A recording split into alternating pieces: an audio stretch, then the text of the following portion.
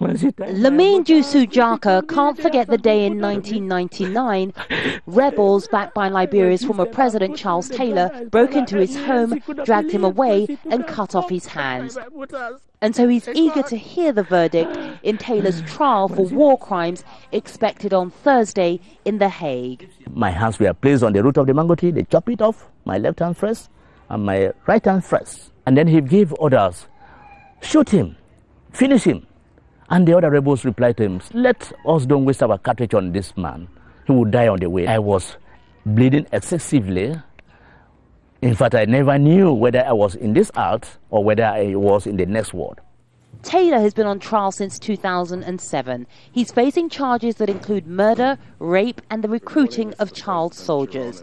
He denies playing any part in Sierra Leone's civil war, a war that lasted 11 years, in which 50,000 people were killed, and in which Taylor is accused of backing rebels belonging to the Revolutionary United Front.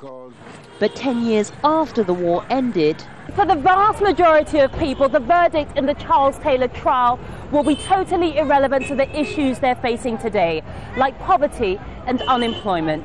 Charles Taylor is in a, a white man's country and he's going through a trial. Most people will tell you, oh, he's been fed, he has electricity supply, he watches TV, and they don't even have access to that. But victims like Lamine do care. He wants Taylor to be found guilty and sentenced to a hundred years.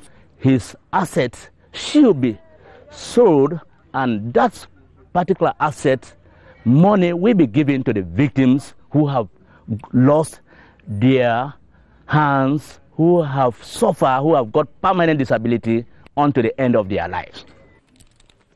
That isn't likely to happen, but for Lamine and the victims like him, the next best thing would be to see Charles Taylor go to prison for the rest of his life. Yvonne Ndege, Al Jazeera, Freetown, Sierra Leone.